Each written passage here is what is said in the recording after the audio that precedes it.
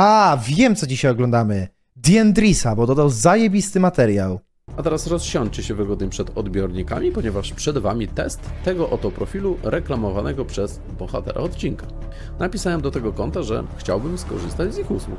Dostałem bardzo poważnie brzmiącą wiadomość, że jeśli jestem chętny na szybką grę, to zostały dwa miejsca. Dwa miejsca? Jak, to dwa miejsca? To co my będziemy grać w pokera? W jakiejś piwnicy, że tylko dwa krzesełka zostały, czy o co tutaj chodzi? No ale dobra, odpisuję, że jestem chętny na szybką grę. Jaki wkład chcesz dać na grę? No powiedzmy, powiedzmy na start 100 zł. Może być. Gra trwa około godziny i gdyby jednak się nie udało, a zawsze tak może być, to dostajesz zwrot swojej stówy.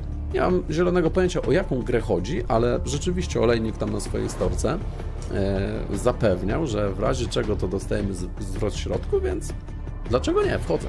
I zaraz pewnie zastanawiacie się, jaki oni w tym mają biznes, skoro zwracają ludziom zainwestowane środki. Też nie wiem, więc się zapytałem. A w odpowiedzi dostałem coś takiego.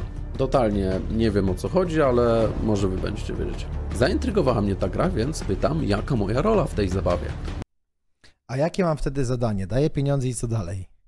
Masz być dostępny, bo cały czas na bieżąco informujemy i wysyłamy SS kuponów, które zagrał itp. Daję kaskę Okej. i co dalej? Ano, moja rola to jest taka, że mam być po prostu dostępny, bo oni na bieżąco informują i wysyłają SS-y kuponów. Jako, że jestem dzbanem roku i pomimo pewnego zwrotu środków napisałem im, że w sumie to ja za 5 dyszek sobie wejdę, bo jak sam za siebie nie decyduję, to może, może tak będzie lepiej. Jak nie decydujesz sam za siebie?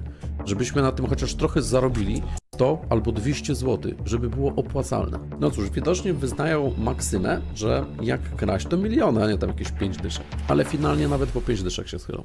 Teraz uwaga, Dzięki, bo Groszku. udało mi się dowiedzieć, na czym polega ta mistyczna gra. Chłopy obstawiają sporty wirtualne, czyli komputer losowo generuje mecz, który trwa 3 minuty, więc w praktyce, jeśli postawisz 1000 zł na pierwszą drużynę, to komputer wygeneruje mecz tak, żeby wygrała druga drużyna. Coś na zasadzie tych animowanych elektronicznych ruletek. Nie przedłużając, podałem kod y, BLIK i lecimy z tematem. Oczywiście chłop starał się wyciągnąć ode mnie więcej kasy, stosując jakąś manipulację dziecka z przedszkola, że mm, no wiesz, y, te 50 w porównaniu do innych to trochę mało, ale uwaga, nagły zwrot akcji. Zostało mi zaproponowane, że możemy zrobić tak jak z Dominikiem wczoraj. Ja też nie wiem, kim jest Dominik, jak coś. I teraz uwaga, bo logiką tego nie ogarniemy. Oni mogą mi dołożyć do mojego wkładu, czyli wyciągają ze swojego portfela 5 dych i mi z jakiegoś powodu, tak jak Dominikowi, dają na grę, żeby, żebym zarówno ja, jak i oni więcej sobie zarobili. Bo będą mieć większy procent. Nie kumam tego zupełnie, w jaki sposób mi się to opłaca, ale stwierdziłem, że zrobię im z mózgu kalafior i nie zgodzę się na tę decyzję. Zobaczymy, jak zareagują. Dla nas jest to mało opłacalne.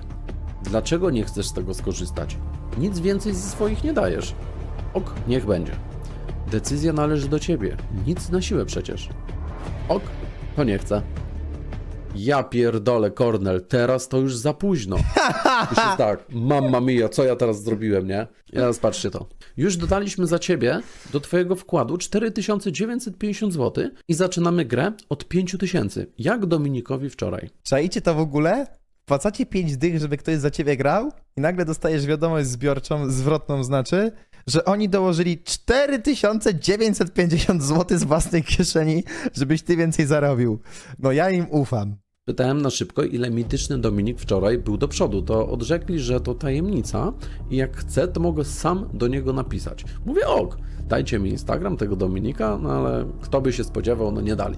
Ale za to dali dwa kupony, które ponoć postawili. Oczywiście odpowiednio przycięty, no bo wiadomo, robiony w zbadaj element. No i chciałem numer kuponu zobaczyć, ale mają zasadę, jak się okazuje, y, że go nie pokazują, dopóki pieniądze nie zostaną wypłacone. Dlatego się zaśmiałem i z jakiegoś powodu, no ostro się wkurzyli. Tak czy siak na podstawie tych dwóch kuponów y, można wywnioskować, że zaro... zarobili oni już jakieś 23 tysiące złotych, więc stwierdziłem, że wiecie co, to może byście już wypłacili te moje pieniądze, fajny jest profit, ja nie chcę dalej ryzykować. To tak nie działa, panie kolego. Nagle przestali odpisywać, żeby za 5 godzin poinformować mnie, że dostaję zwrot, bo po moich słowach to średni wspólnik ze mnie. Tak jak widzieliście, ani ich nie wyzywałem, ani jakoś przesadnie z nich peki nie cisnąłem, więc nie wiem, co ich tak ugodziło. No ale dobra, wiecie, chociaż dostanę zwrot swoich pieniędzy, nie? Poproszę kod blik. Nic nie odpisują. Alo. Myślę, że tak, napiszę do nich z mojego jakiegoś tam drugiego konta, nie? Może wiesz, ktoś, który obsługuje ten, ten profil, nie wiem, jest na wakacjach, czy po prostu poszedł spać, czy cokolwiek co innego i, i zobaczy, czy na drugie konto mi odpiszą. No ale wyobraźcie sobie, że normalnie mi odpisują na mojego fejka i również zapewniają, że, że ten, kto gra pierwszy raz, dostaje zwrot. No to piszę, zwróćcie mi w takim razie moje pieniądze, a nie przestajecie nagle odpisywać. Polecono mi napisać raz jeszcze ze swojego głównego konta, co zresztą zrobiłem, ale również bez skutku, więc już y, dałem sobie siano. Tak właśnie działa ten profil reklamowany przez Tomasza Olejnika. Podobnych reklam było więcej i ludzie informowali Tomasza o tym, że Haha, w ogóle to jest żart, jak nie wiem. Przejdźcie wstawić na story, że wygrałeś 89 tysięcy i się chwalisz tym kuponem? Przecież to zajeżdża z kamem na kilometr. Reklamuje skam, ale przecież zawsze można udać, że nie widzi się takich wiadomości. A gdyby ktoś chciał stanąć w jego obronie z argumentem, że przecież ma ogromnego Instagrama, duży spam wiadomości i nie jest w stanie wszystkiego czytać, to również to sprawdziłem i napisałem do niego na e-mail dwie wiadomości. Jedną z propozycją współpracy, Dzięki, na którą odpisał w moment i drugą, gdzie informuję go, że reklamuje skam i chciałem, żeby jakoś odniósł się do tematu, na tą wiadomość już nie odpisał. Pomyślałem, że na własnej skórze chcę się przekonać, jaki Tomek tak naprawdę jest. Padłem na pomysł, że podam się za typera bukmacherskiego, który chce wykupić u niego reklamę na Instastory. Wiecie, może zdarzy się cud i Tomek Wie pan, powie, co to że znaczy on trapen? więcej Nie pracować, takich a rzeczy już u zarabiać. siebie nie reklamuje, Jestem bo wiele osób się i na to chciałbym skarżyło poprosić i nie o będę musiał żółwia nagrywać tego rzecznego. odcinka. No to już chyba wiecie, jak zareagował. Prosić możesz. Halo? Siema, siema. Siema, e, ty w sprawie deala, tak? Tak, tak, tak. Słuchaj, no okej, mniej więcej, tylko że musimy troszkę ponegocjować, bo ja ogólnie na story biorę więcej, coś, Mhm. e, tym bardziej jak to jest story, e, Czekaj, ile bierzesz? ja ogólnie na story biorę więcej, coś, Jak myślicie, ile bierze za storkę? Tysiąc coś? Jak on ma kanał 350 tysięcy subów? Ja myślę, że z 1000, 1500 powiedział. e, tym bardziej troszkę ponegocjować, bo ja ogólnie na story biorę więcej, coś, Mhm. e, tym bardziej jak to jest story e, z typami, no tak? Kurwa, 1000, 1500 za story olejnika. Co wy na to, że wykupimy u niego reklamę na, na story? Nawet mu kurwa damy dwa koła, żeby zamknął dupę i damy jakieś, jakiegoś mema z community, a w tle będzie miał gołą dupę. Na przykład jakiś taki zrobimy wisienkę na torcie. Że w, wspólnie napiszemy coś w pęcie i on ma to wrzucić na story. Przecież on wszystko sprzeda. Nie no, olejnik widzowie to jest taki debil, że nawet o nim nigdy nie mówię.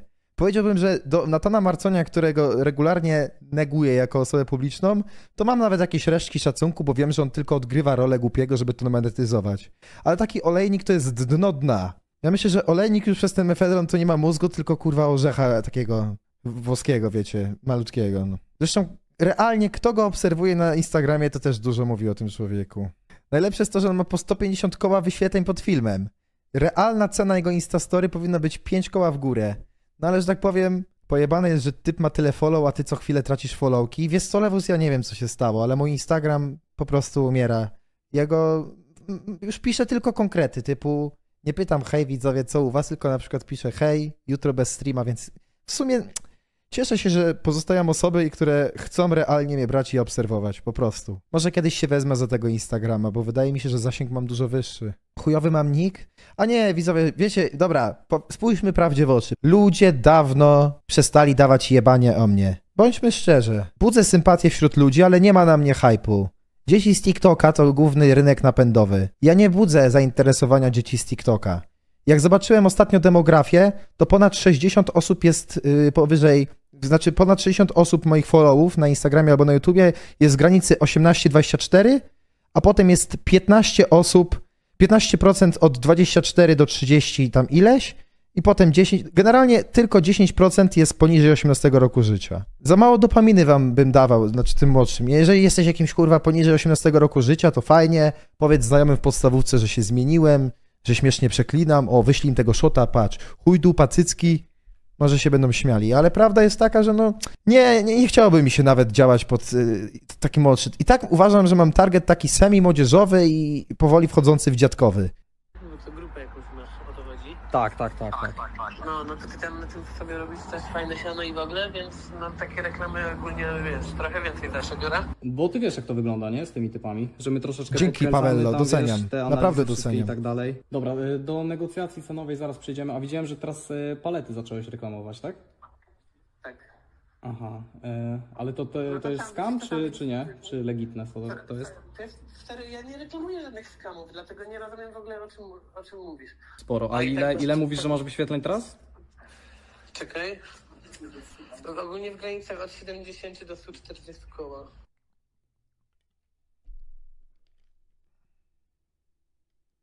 I teraz chciałbym, żeby to jasno wybrzmiało.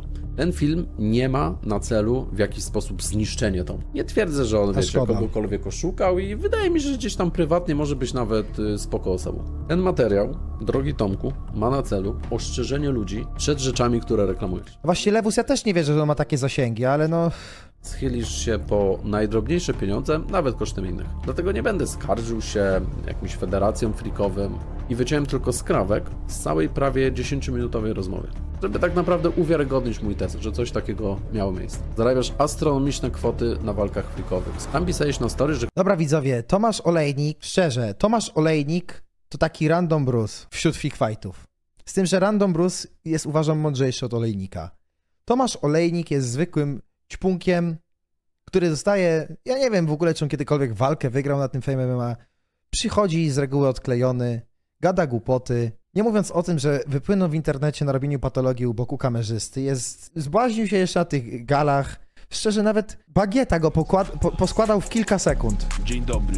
I tutaj nie umniejszam bagiecie. To chodzi o sam fakt, że on wychodzi do tych walk mając takie wielkie doświadczenie i dostaje na dziurę.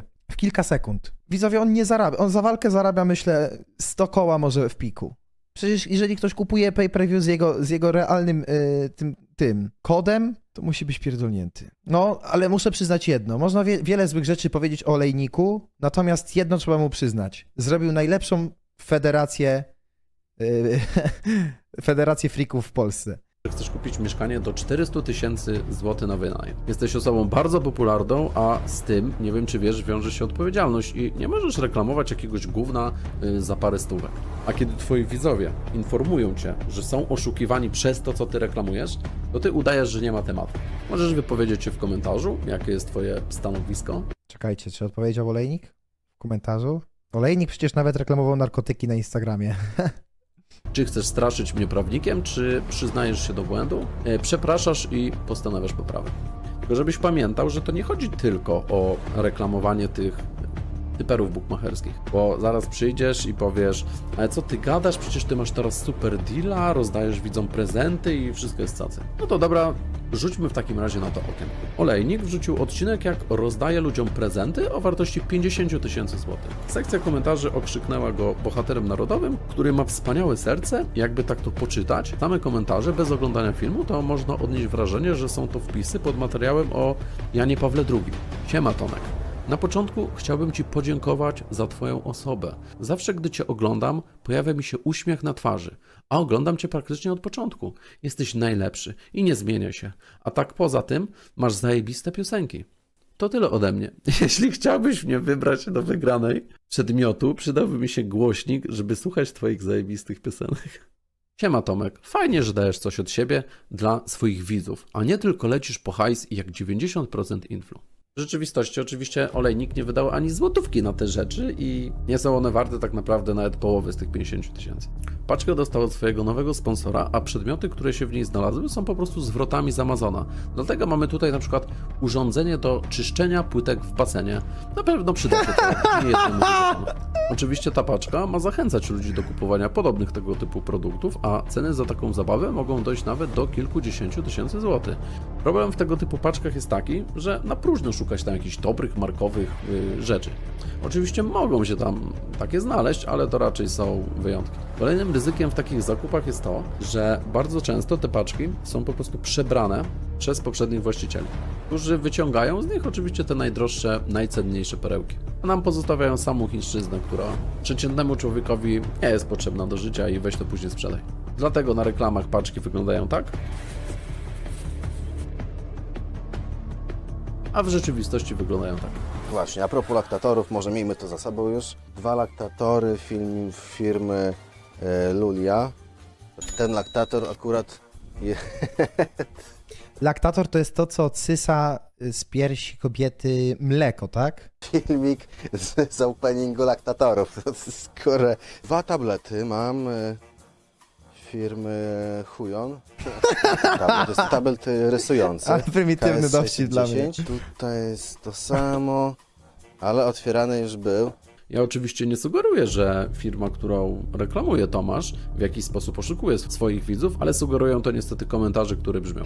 Stanowczo odradzam handel z tą firmą. Dokonałem zakupu palety za 8600 zł, jakości AB, a sprzedano gabaryt elektrośmieci wycofanych ze sprzedaży. Sama chińszczyzna po 50 zł i same używki zniszczone lub niekompletne. Towar zupełnie niezgodny z opisem. Otrzymałem paletę nic nie wartych przedmiotów wycofanych ze sprzedaży. Zmanipulowana, przebrana paleta tworząca nic nie warty gabaryt pośrednik i kombinator sprzedający elektrośmieci. No i widzisz, panie Tomku, no średnio to wygląda. Ja niestety takich pieniędzy nie mam, żeby kupić taką paletę, ale jeśli ktoś z Was się zastanawia, to bardzo chętnie e, przyjadę z kamerą i zobaczę, co oni tam sprzedają. Tutaj chciałem podziękować również mojemu moderatorowi, dzięki któremu udało mi się zdobyć kilka ciekawych informacji do tego odcinka. Aktualnie jest singlem i mówi mi tak: Pokaż mój Instagram na odcinku, może jakieś dupeczki będą pisać. No to macie, można pisać, jak ktoś jest zainteresowany.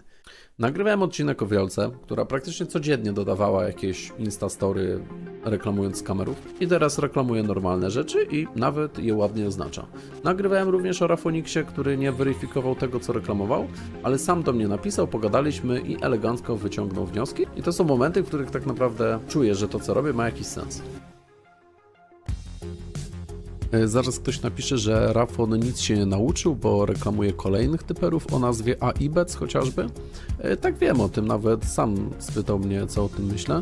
E, Słuchajcie, ten serwis działa legalnie, jest zarejestrowany w Polsce, odprowadza podatki i respektuje swój regulamin, ponieważ go testowałem, bo byłem ciekawy, czy zwrócą mi pieniądze i finalnie to zrobili. E, O zwrot pisałem swoje konta jak coś. I testowałem go jeszcze w grudniu i w tamtym okresie swoje statystyki na Instagramie wpisywali zgodnie z rzeczywistością. E, Typy dostawałem na czas i kursy, kursy również się zgadzały. Jakbym miał coś o nich powiedzieć tak na szybko, to działają bardzo podobnie do matematycznych kuponów, czyli dostajesz niestety kilka typów i sam masz zdecydować. Ej, dobra widzowie, ja nie wiem, ale ten film tak mi się przyjemnie ogląda, to takie dopaminowe jest, aż bym pograł. Bo to jest GTA, zgaduję, że jakiś ten. który zagrasz, czyli de facto serwis trochę uwalnia się od takiej odpowiedzialności i nawet jeśli, jeśli coś nie siądzie, to nadal procent skuteczności na papierze wygląda obiecująco. Mi nie wypada reklamować co prawda takich serwisów, ale wydaje mi się, że o ile nie zaczną odwalać jakichś dziwnych akcji, to nie mamy powodu, żeby zakazywać komuś, komuś reklamowania takich stron. W tym odcinku to by było na tyle. Przypominam oczywiście o serwisie Podziemne Typy, gdzie możecie sobie razem ze swoimi znajomymi pobawić się w typerów e, bukmacherskich. Tomkowi życzę oczywiście Fajny filmik, ale Tomek Olejnik w ogóle ma jakieś piosenki? Hey, fuck that shit.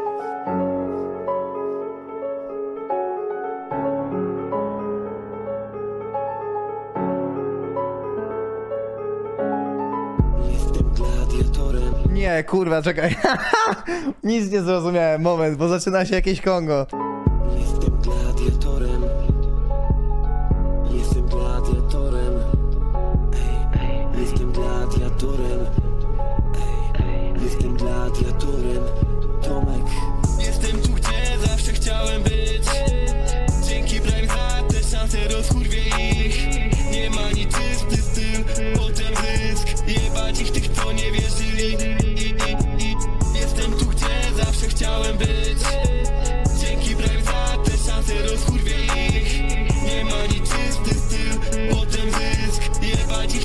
Ale gówno, nie? Przysięgam. Z czego on w ogóle wypłynął? Kissing Challenge z moją dziewczyną. Siema, jestem Tomek, a w dzisiejszym filmie przedstawię wam moją dziewczynę. Pierwszy raz na kanale i będziemy dzisiaj robili Hejka. Kissing Challenge. No, chodź tu. Stój. Mm. A wy co, dalej bez seksu? Taki to pożyje. Milioner, oczytany, laseczki ma. Jeszcze mnie kurwo nie poznałeś, a już gadasz za plecami Zabawię się twoim kosztem, no bo nadal mnie to bawi Ej, myślałem, że to Rusina na początku. Że tak powiem, ja wiem, że jesteście co niektórzy tutaj fanem Rusiny, no ale dla mnie to akurat Rusina to a, a, a, a. A powiem wam, że tak to zabrzmiało. Zarobię kolejnym jestem nikim powiadali Ciągle patrzę se pod nogi, bo jesteście tacy mali Mieli mnie za debila, nie wiedzieli, że to postać Musiała minąć chwila, teraz tuka chce mi postać Jedyne dotrzymane słowo od disco polowca Na siebie biorę winę po wszystkich spalonych Dobra, ale gówno. Jem, nie no, jem wszystkie kanapki z oferty śniadaniowej McDonald's. McDonald's versus Burger King, pojedynek za 10 zł. Kupiłem Royal Division, mam swoją organizację. Cała prawda o Royal Division. Największy burger Dwala, musisz to zobaczyć. Znikam z YouTube'a, koniec daily. Sprawdź sobie, że, że je tylko słodycze? Co? Tomek Olejnik, słodycze. Ja mam wrażenie, że to jakiś Pokémon.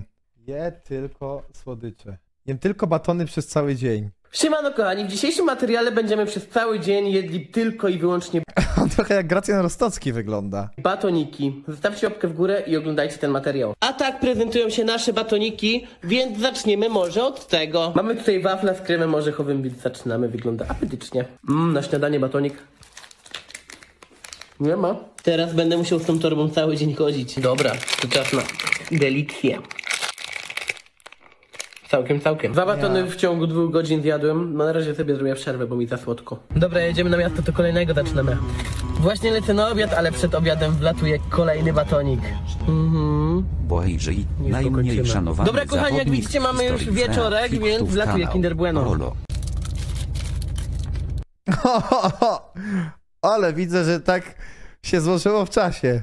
Tomek Olejnik posiada jedną z najdłuższych karier freakowych w Polsce, jednak gdzie się nie pojawi, towarzyszy mu wstyd, znieważenie oraz brak szacunku do jego osoby. Działania, które podejmował sprawiły, że wiele osób zarzuca mu sprzedanie się, czemu nawet sam Olejnik nie zaprzecza. I chciałbym ten temat zakończyć, bo już się nie chcę z tym nic wspólnego. No ty też, no. Biorąc pod uwagę uległy charakter, często był wykorzystywany przez osoby, z którymi współpracował, jednak pogoń za sławą oraz pieniędzmi była silniejsza od poczucia godności, którą teraz bardzo trudno jest mu odzyskać, a którą stracił praktycznie na samym początku swojej internetowej kariery. Pierwsze kroki Tomek stawiał na portalu Ask.fm i to właśnie dzięki tej platformie zyskał popularność. Mając zaledwie 17 lat, dotarł do top 10 najbardziej obserwowanych profili, co pozwoliło mu zawiązać znajomość z Łukaszem Wawrzyniakiem, znanym dziś szerzej jako kamerzysta. Ponieważ oboje mieszkali w Szczecinie, doszli do wniosku, że wraz z Markiem Kruszelem rozpoczną wspólny projekt. Na kanale Lord Kruszwil każdy grał swoją rolę, jednak najgorsza z nich przypadła właśnie Olejnikowi. Oglądałem tego zioma ostatnio. Jakby y, znalazłem ten kanał, bo on ma tysiąc subów, bez kitu. Miałem wam o nim powiedzieć, bo ja takie perełki... Wy... O, to obejrzałem. Co zatrzymało rozwój kanału.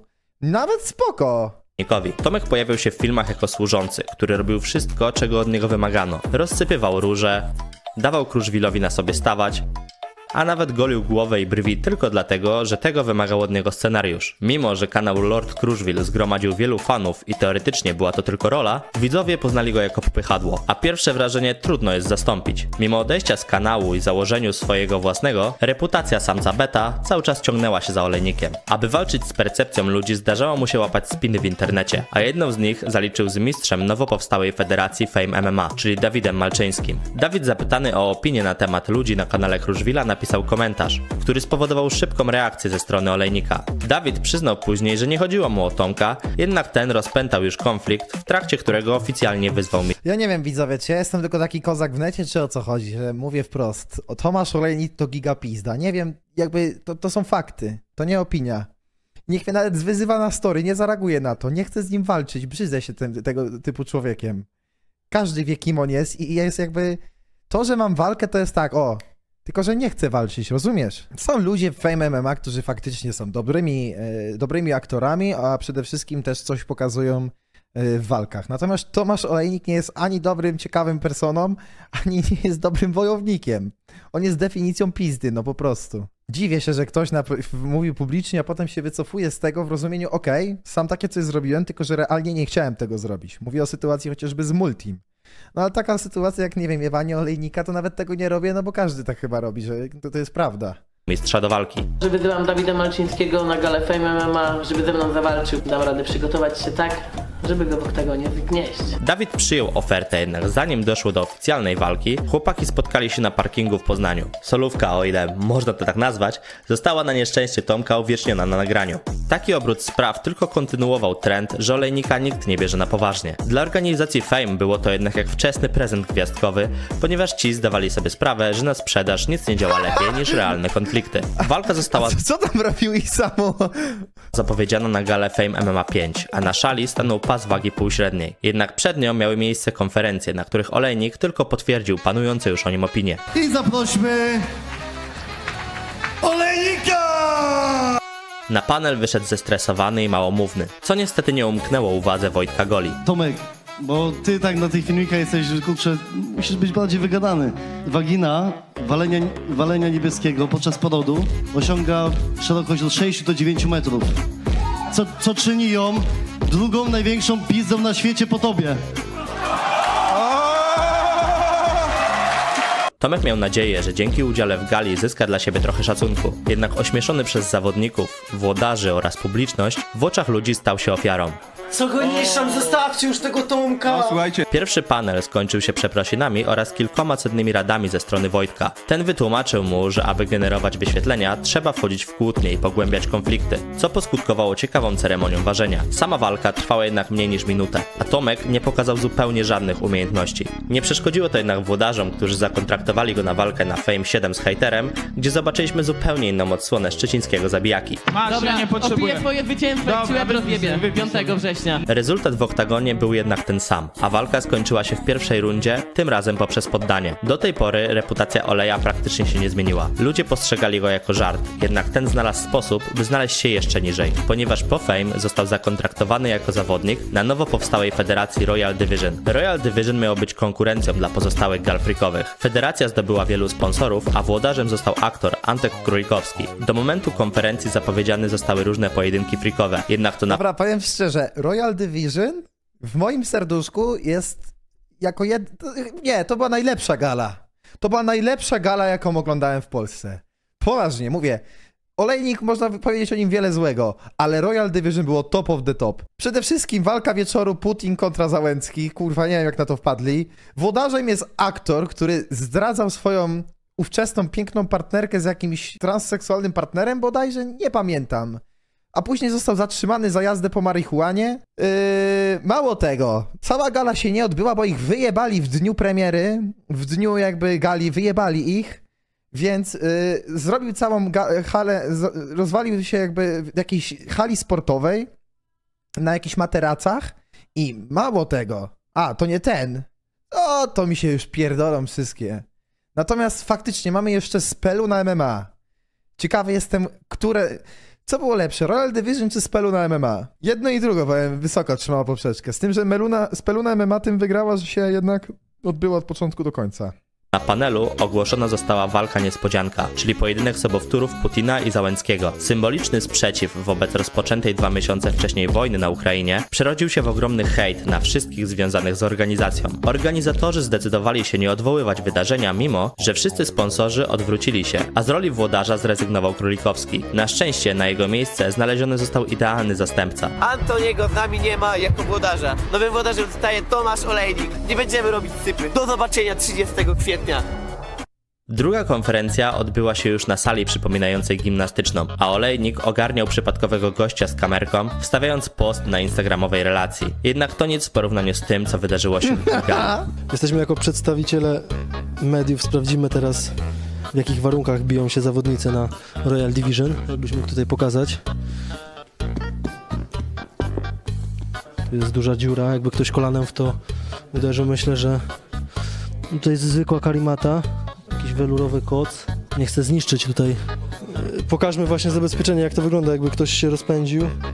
Ale myślę, że tutaj matka yy, Przenajświętsza Budda to jest zabezpieczenie yy, jakby religia ma uchronić zawodników. Może pójdziemy znaleźć organizatorów tego przedsięwzięcia. Tomku? To jest po prostu to, o czym mówię od samego początku dnia, że mamy te przeciwności losu, które po prostu nie są po naszej stronie i A te karimaty, które są no, bardzo cieniutkie? No wiesz co, mieliśmy rano cały oktagon, wszystko załatwione. Teraz to jest taki oktagon tymczasowy po prostu, który ekipa Boxy, przyjechała i zrobiła, no i musieliśmy z tym zostać. Po- Podczas pierwszej walki nie było y, sędziego. Czy to nie był jakiś problem, żeby tą walkę przeprowadzić? Słucham? Że podczas pierwszej walki, którą przeprowadziliście, nie było sędziego. To nie był problem, żeby tą walkę przeprowadzić? Sędziego nie było? A z tyłu? Dobra, to chyba ci podziękuję. Dzięki. Wydarzenie było transmitowane w systemie pay-per-view i spora liczba osób zapłaciła za jej obejrzenie. Oznaczało to, że jeżeli nie odbyłaby się wystarczająca ilość walk, to na organizatorów nałożone zostałyby kary finansowe. Większość zawodników z jasnych przyczyn zrezygnowała z udziału, więc organizatorzy poprosili Tomka, aby ten bił się w kilku walkach jednego wieczoru. Podstawiony pod ścianą zgodził się i walkami na ślepo uratował galę, za co jednak ani on, ani reszta zawodników nie otrzymali wypłaty. Kolejną walkę stoczyć miał z Wandalem na gali Prime 3. Na konferencji widać, że wskazówki Wojtka Goli wziął sobie jeszcze bardziej do serca i przeobraził się w pierwszej Nie no, ja się zesram na samą myśl. Wyobrażacie sobie? Wyobrażacie sobie, że jesteście włodarzem, ludzie rezygnują, bo jest takie gówno? klasy zadymiarza. Można powiedzieć, że olejnik to jest taka choroba, a ty lekarstwo. A kim ty w ogóle kurwa jesteś? Bo ja nawet cię nie znam. Nie pomogło mu to jednak w oktagonie, gdzie jego rekord zyskał trzecią z rzędu przegraną. Nie licząc oczywiście walk na ślepo. Widzowie docenili jednak awanturę olejnika, którego los miał się w końcu odmienić, ponieważ na kolejnej gali Prime jego przeciwnikiem został Robalini, który w swojej walce z Body Christem jako pierwszy w historii naderwał bark podczas wyprowadzania kopnięcia. Zestawienie tych dwóch przyniosło olejnikowi dwa zwycięstwa. Jedno na konferencji i drugie w oktagonie. Passa nie trwała jednak długo, ponieważ dwie kolejne walki przegrał kolejno z Ronaldo Mirandą oraz Michałem Bagietą. W tamtym momencie Olejnik znany był z jednego z najgorszych rekordów, jednak jego wystąpienia generowały wyświetlenia. Te dwa czynniki spowodowały, że ponownie został zatrudniony przez największą frikową federację. Na gali Fame Reborn zmierzyć się mieli Sylwester Wardenga i Sebastian Fabiański. Jednak poprzez zmianę ustaleń zorganizowany został pierwszy w historii drużynowy main event. Nieoczekiwanie na konferencji oraz face to face, największe dymy miały miejsce właśnie pomiędzy przyszłymi kolegami z drużyny. Jeżeli ty coś narzekasz na raczej Ja cię kurwa nie znam, kim ty jesteś w ogóle? Sama walka skończyła się skandalem. Jednak Olejnik za swoją postawę sprawił całkiem pozytywne wrażenie. Po teatrzyku Fabijańskiego i dyskwalifikacji Wardęgi walczył z Wojtkiem do przerwania sędziego, co zagwarantowało mu kolejną walkę, na której zmierzyć się miał z Sylwestrem na gali Fame 20. Zanim jednak do tego doszło, Olejnik wystąpił w turnieju gladiatorów na gali Prime 7, gdzie w solidnym jak na niego występie odpadł w finale z Push Barberem. Dodatkowo po tej właśnie gali ukazał się odcinek szalonego podcastu, gdzie opowiada o swoich dotychczasowych doświadczeniach, a przyjęcie ludzi było niesamowicie pozytywne. I kiedy wydawało się, że opinia internetu może ulec poprawie, na YouTube opublikowany zostaje nowy kawałek olejnika, czyli Sigma. Pod kawałkiem możemy zobaczyć, że komentarze wracają do standardów, do jakich Tomek zdążył nas już przyzwyczaić. Niestety w tamtym czasie Wardenga wycofał się z walki, a na jego miejsce wskoczył znany z ekipy Bungie Wronek, który zdominował i w pierwszej rundzie sędzia musiał przerwać pojedynek. Nie to okazało się jednak największą kompromitacją olejnika, który najpierw na konferencji złapał spinę z tuszolem, następnie wystąpił gościnnie w odcinku Bungie, a na koniec na jego kanał trafił taki oto filmik. Reakcję Merganiego mogliśmy zobaczyć na jego transmisji. Dołączyłem do największej ekipy na YouTube, Olejnik w Bungie. Mianowicie będę, albo już nie jestem w ekipie Bungie, kurde, co ty chcesz, to jest mega wiadomość, to jest dopiero początek. Ty jesteś człowieku pierdnięty. No ale co chłopie, no przecież jak logicznie, że go nie ma, no ale niech żyje w świ- świadomości, że jest. On mówi, że On jest następny... chory psychicznie, on jest, on jest chory psychicznie po prostu, on powinien być zamknięty z popkiem. No to... My zawsze tak działamy. No to poszedł komentarz. Ta sytuacja idealnie obrazuje całą karierę Tomka Olejnika. Nawet kiedy wykonuje dobre dla siebie ruchy, to po nich raz za razem pojawiają się nieudane skoki na pieniądze czy próby zwrócenia na siebie uwagi. Mimo, że na swoim Instagramie uzbierał prawie 350 tysięcy obserwujących, to pod każdym z postów wylewa się na niego fala krytyki. Taki odbiór nie jest jednak wyssany z palca. Lata pracy nad szarganiem własnego wizerunku w imię lajków i banknotów sprawiły, że stracił w oczach fanów. Zawodnicy posiadają do niego jeszcze mniej szacunku. Konflikty generowane dla zasięgów zapewniły mu rekord przyjętych liści wychowawczych, a rekord w postaci 1.7 pokazuje tylko, ile warte jest słowo olejnika. Mimo kilku przebłysków, schematy pozostały te same. Jednak czy uda mu się je przełamać? Myślę, że o tym dowiemy się w niedalekiej przyszłości. Nie, no to jest debil. To szkoda nawet już komentować. Tak szczerze. Nie wiem, czy nawet ja, nie obserwując jakby tych wszystkich walk, bo nie obserwuję ani, ani tych walk, ani nie widzę konferencji, to jakąś siłą rzeczy trafia do mnie to, że on za- zawsze dostanie liście. I to na przykład dotarła do mnie informacja, nawet nie wiem, z Twittera podejrzewam, że dostał liście od gościa, z którym miał walczyć w parze. I że się pokłócili przed wejściem do walki. Trzymajcie się.